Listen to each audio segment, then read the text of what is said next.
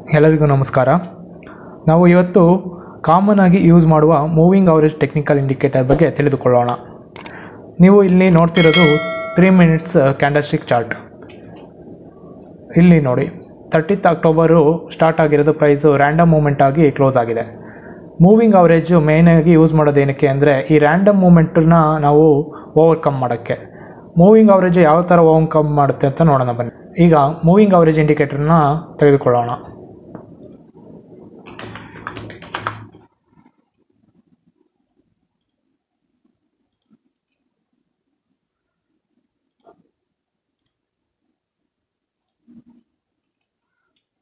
Moving average ಇಂಡಿಕೇಟರ್ನ mainly two purpose ಆಗಿ use ಮಾಡ್ತೀವಿ. ಒಂದು, ಟ್ರೆಂಡ್ನ ಐಡೆಂಟಿಫೈ ಮಾಡೋಕ್ಕೆ, ಇನ್ನೊಂದು, ರಿವರ್ಸಲ್ ಆಗ್ತಿದೆಯಾ ಅಂತ ಚೆಕ್ ಮಾಡೋದಕ್ಕೆ. ಇಲ್ಲಿ ನೋಡ್ಬೋದು ನೀವು, ಅಪ್ ಟ್ರೆಂಡಲ್ಲಿದ್ದಾಗ ಪ್ರೈಸಸ್ಸು ಮೂವಿಂಗ್ ಅವರೇಜ್ಗಿಂತ ಮೇಲ್ಗಡೆ ಇರುತ್ತೆ. ಡೌನ್ ಟ್ರೆಂಡ್ ಇದ್ದಾಗ ಪ್ರೈಸಸ್ಸು ಮೂವಿಂಗ್ ಅವರೇಜ್ಗಿಂತ ಕಮ್ಮಿ ಇರುತ್ತೆ. ಸೈಡ್ ವೈಸ್ ಇದ್ದಾಗ ಮೂವಿಂಗ್ ಅವರೇಜ್ ಅಕ್ಕಪಕ್ಕನೇ ಪ್ರೈಸಸ್ಸು ಓಡಾಡ್ತಾ ಇರುತ್ತೆ. ನಾವು ಮೂವಿಂಗ್ ಅವರೇಜ್ನ ಎರಡು ಮೈನ್ ಪರ್ಪಸ್ಗೆ ಯೂಸ್ ಮಾಡ್ತೀವಿ. ಒಂದು ಟ್ರೆಂಡ್ ಐಡೆಂಟಿಫಿಕೇಷನ್ಗೆ ಮತ್ತು ರಿವರ್ಸಲ್ ಆಗಿದೆಯೋ ಆಗಿಲ್ವೋ ಅಂತ ಕನ್ಫರ್ಮ್ ಮಾಡ್ಕೊಳ್ಳೋದಕ್ಕೆ. ನೀವು ಇಲ್ಲಿ ನೋಡ್ಬೋದು.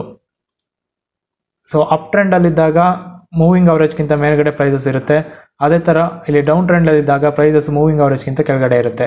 ಇನ್ನು ಇಲ್ಲಿ ನೋಡ್ಬೋದು. ರಿವರ್ಸಲ್ ಆದರೆ ಮೂವಿಂಗ್ ಅವರೇಜು ಪ್ರೈಸಸ್ನ ಕ್ರಾಸ್ ಆಗಿ ರಿವರ್ಸಲ್ ಆಗಿದೆ. ಡೌನ್ ಟ್ರೆಂಡ್ ಇರೋದನ್ನ ಅಪ್ ಟ್ರೆಂಡ್ ಆಗಿ ಕನ್ವರ್ಷನ್ ಆಗಿದೆ. ರಿವರ್ಸಲ್ ಅಂದರೆ ಡೌನ್ ಟ್ರೆಂಡ್ ಇರೋದು ಅಪ್ ಟ್ರೆಂಡ್ ಆಗಿ ಹೋಗುತ್ತೆ ಅಂತ ಅಲ್ಲ. ಡೌನ್ ಟ್ರೆಂಡ್ ಇರೋದು ಕನ್ಸಾಲಿಡೇಷನ್ ಝೋನ್ಗೂ ಬರ್ಬೋದು. ಸೊ ಇದು ರಿವರ್ಸಲ್ ಕನ್ಫರ್ಮೇಷನ್ ತೋರಿಸುತ್ತೆ. ಮೂವಿಂಗ್ ಅವರೇಜ್ನ ನಾವು ಸಪೋರ್ಟ್ ಮತ್ತು ರೆಸಿಸ್ಟೆನ್ಸ್ ಆಗಿ ಯೂಸ್ ಮಾಡ್ಬೋದು. ಯಾವಾಗ ಅಪ್ ಟ್ರೆಂಡಲ್ಲಿರುತ್ತೆ ಪ್ರೈಸು ಮೂವಿಂಗ್ ಅವರೇಜ್ ಹತ್ರ ಹತ್ರ ಬರ್ತಿದ್ದಾಗ, ಯಾವಾಗ ಪ್ರೈಸು ರಿಬೌಂಡ್ ಆಗುತ್ತೆ, ಅದು ಸಪೋರ್ಟಾಗಿ ಆ್ಯಕ್ಟ್ ಮಾಡುತ್ತೆ. ಆವಾಗ ನಾವು ಇಲ್ಲಿ ಬೈ ಮಾಡ್ಬೋದು. ಹಾಗೆ ಡೌನ್ ಟ್ರೆಂಡಲ್ಲಿದ್ದಾಗ ಯಾವಾಗ ಪ್ರೈಸು ಮೂವಿಂಗ್ ಅವರೇಜ್ ಹತ್ರ ಬರುತ್ತೆ ರಿಬೌಂಡ್ ಆಗುತ್ತೆ ಆವಾಗ ನಾವು ಸೆಲ್ ಮಾಡ್ಬೋದು. ಸೊ ಮೂವಿಂಗ್ ಅವರೇಜು ಸಪೋರ್ಟ್ ಮತ್ತು ರೆಸಿಸ್ಟೆನ್ಸ್ ಆಗಿ ನಾವು ಯೂಸ್ ಮಾಡ್ಕೋಬೋದು ಮೂವಿಂಗ್ ಅವರೇಜು ಪ್ರೈಸ್ ಬೇಸ್ಡ್ ಇರೋದ್ರಿಂದ ಇದು lagging indicator moving average calculate ಮಾಡೋದು ಪ್ರೀವಿಯಸ್ ಪ್ರೈಸ್ ಮೇಲೆ. ಸೊ ಇದು ಲ್ಯಾಗಿಂಗ್ ಇಂಡಿಕೇಟರ್ ಯಾವಾಗ ಅಪ್ ಟ್ರೆಂಡ್ ಸ್ಟಾರ್ಟ್ ಆಗುತ್ತೆ, ಆಮೇಲೆ ಡೌನ್ ಟ್ರೆಂಡ್ ಸ್ಟಾರ್ಟ್ ಆಗುತ್ತೆ, ಅದು ಸ್ಟಾರ್ಟ್ ಆದಮೇಲೆ ಮೂವಿಂಗ್ ಅವರೇಜು ತೋರಿಸುತ್ತೆ. ಮೂವಿಂಗ್ ಅವರೇಜಲ್ಲಿ ತ್ರೀ ಟೈಪ್ಸ್ ಇರುತ್ತೆ. Simple moving average weighted moving average exponential moving average simple moving average ಮತ್ತು ವೈಟೆಡ್ ಮೂವಿಂಗ್ ಅವರೇಜು ಎಕ್ಸ್ಪೊನೆನ್ಷಿಯಲ್ ಎಲ್ಲೆಲ್ಲಿ ಯೂಸ್ ಮಾಡೋದಂತ ನಾವು ತಿಳಿದುಕೊಳ್ಳೋಣ. ಸಿಂಪಲ್ ಮೂವಿಂಗ್ ಅವರೇಜು ಯಾವ ರೀತಿ ಕ್ಯಾಲ್ಕುಲೇಟ್ ಆಗುತ್ತೆ ಅಂದರೆ, ಈಗ ನಾನು ಇದು ಹಾಕಿರೋದು nine day simple moving average ಒಂದು, ಎರಡು, ಮೂರು, ನಾಲ್ಕು, ಐದು, ಆರು, ಏಳು, ಎಂಟು, ಒಂಬತ್ತು. ಈ ಒಂಬತ್ತು ಕ್ಯಾಂಡಲ್ನ ಕ್ಲೋಸ್ ತೊಗೊಂಡು ಮೂವಿಂಗ್ ಅವರೇಜು ಇಲ್ಲಿ ಪ್ಲಾಟ್ ಆಗಿರುತ್ತೆ. ಅದು ಒಂಬತ್ತು ಕ್ಯಾಂಡಲ್ದು ಕ್ಲೋಸ್ ತೊಗೊಂಡು ಸೊ ಈ ಒಂಬತ್ತು ಕ್ಯಾಂಡಲ್ಗೂ ಆ ಮೂವಿಂಗ್ ಅವರೇಜು ಸೇಮ್ ವೆಯ್ಟ್ ಕೊಟ್ಟಿದೆ. ಬಟ್ ವೆಯ್ಟೆಡ್ ಮೂವಿಂಗ್ ಅವರೇಜು ಮತ್ತು ಎಕ್ಸ್ಪೊನೆನ್ಷಿಯಲ್ ಮೂವಿಂಗ್ ಅವರೇಜಲ್ಲಿ ಆ ಥರ ಆಗೋದಿಲ್ಲ.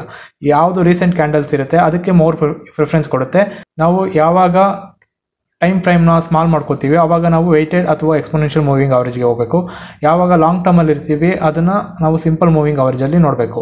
ಆವಾಗ ರ್ಯಾಂಡಮ್ ಪ್ರೈಸ್ ಮೂವ್ಮೆಂಟ್ ಇರೋದಿಲ್ಲ. ಸಿಂಪಲ್ ಮೂವಿಂಗ್ ಅವರೇಜ್ ಕ್ಯಾಲ್ಕುಲೇಷನ್ ತುಂಬ ಸುಲಭ. ಇಲ್ಲಿ ನಾನು ನೈನ್ ಡೇ ಮೂವಿಂಗ್ ಅವರೇಜ್ನ ಕ್ಯಾ ತೊಗೊಂಡಿದ್ದೀನಿ. ಸೊ ನೈನ್ ಡೇ ಮೂವಿಂಗ್ ಅವರೇಜ್ನ ಕ್ಯಾಲ್ಕುಲೇಟ್ ಮಾಡೋದು ಇಲ್ಲಿಂದ ಒಂಬತ್ತು ಕ್ಯಾಂಡಲ್ ಕ್ಲೋಸ್ಗಳನ್ನ ತೊಗೊಂಡು ಅದನ್ನು ಡಿವೈಡೆಡ್ ಬೈ ನೈನ್ ಮಾಡ್ತೀನಿ. ಸೊ ಎಲ್ಲ ಕ್ಯಾಂಡಲ್ಗಳಿಗೂ ಸೇಮ್ ಇಂಪಾರ್ಟೆನ್ಸ್ ಕೊಟ್ಟಿರ್ತಾರೆ ಸಿಂಪಲ್ ಮೂವಿಂಗ್ ಅವರೇಜಲ್ಲಿ ಸೊ ಇದರ ನಾವು ಸಣ್ಣ ಟೈಮ್ ಫ್ರೇಮ್ಗೆ ಯೂಸ್ ಮಾಡೋದಾದರೆ ಇದು ಮೋರ್ ಎಫೆಕ್ಟಿವ್ ಆಗಿರುವುದಿಲ್ಲ. ಇದನ್ನೇ ನಾನು ಎಕ್ಸ್ಪೊನೆನ್ಷಿಯಲ್ ಮೂವಿಂಗ್ ಅವರೇಜನ್ನು ಸೆಲೆಕ್ಟ್ ಮಾಡ್ಕೋತೀನಿ. ನೀವು ಇಲ್ಲಿ ನೋಡ್ಬೋದು ಸಿಂಪಲ್ ಮೂವಿಂಗ್ ಅವರೇಜು ಮತ್ತು exponential moving average comparison simple moving average ಪ್ರೈಸ್ಗಿಂತ ಸ್ವಲ್ಪ ದೂರ ಇದೆ. ಬಟ್ ಯಾಕೆಂದರೆ ಸಿಂಪಲ್ ಮೂವಿಂಗ್ ಅವರೇಜಲ್ಲಿ ಎಲ್ಲ ಕ್ಯಾಂಡಲ್ಗೂ ಸೇಮ್ ವೆಯ್ಟೇಜ್ ಕೊಟ್ಟಿರ್ತಾರೆ. ಬಟ್ ಎಕ್ಸ್ಪೊನೆನ್ಷಿಯಲ್ ಮೂವಿಂಗ್ ಅವರೇಜಲ್ಲಿ ಯಾವುದು ರೀಸೆಂಟ್ ಕ್ಯಾಂಡಲ್ ಇರುತ್ತೆ, ಅದಕ್ಕೆ ಜಾಸ್ತಿ ವೆಯ್ಟೇಜ್ ಕೊಡ್ತಾರೆ. ಅದಕ್ಕೆ ನಾವು ಪ್ರೈಸ್ ಮೂಮೆಂಟ್ ಏನಾದ್ರು ಇಮಿಡಿಯೇಟ್ ಚೇಂಜ್ ಆದರೆ ಎಕ್ಸ್ಪೊನೆನ್ಷಿಯಲ್ ಮೂವಿಂಗ್ ಅವರೇಜಲ್ಲಿ ನಾವು ತಿಳಿದುಕೊಳ್ಬೋದು.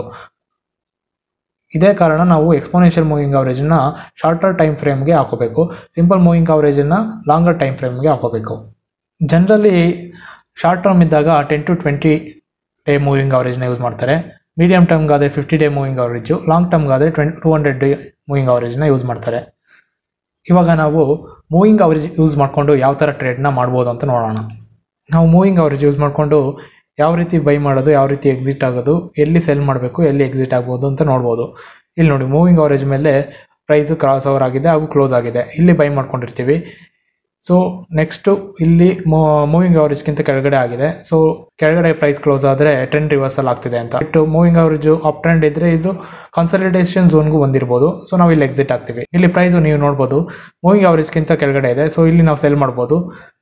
ಇಲ್ಲಿ ನಾವು ಎಕ್ಸಿಟ್ ಆಗ್ತೀವಿ. ಸೊ ಈ ಥರ ನಾವು ಮೂವಿಂಗ್ ಅವರೇಜ್ನ ಯೂಸ್ ಮಾಡಿಕೊಂಡು ಟ್ರೇಡ್ನ ಎಂಟ್ರಿ ಆಗ್ಬೋದು. ನಾವು ಎರಡು ಮೂವಿಂಗ್ ಅವರೇಜ್ನ ಯೂಸ್ ಮಾಡಿಕೊಂಡು ಟ್ರೇಡ್ ಸೆಟಪ್ನ ಮಾಡ್ಬೋದು. ಯಾವ ಥರ ಅಂತ ನೋಡೋಣ ಬನ್ನಿ.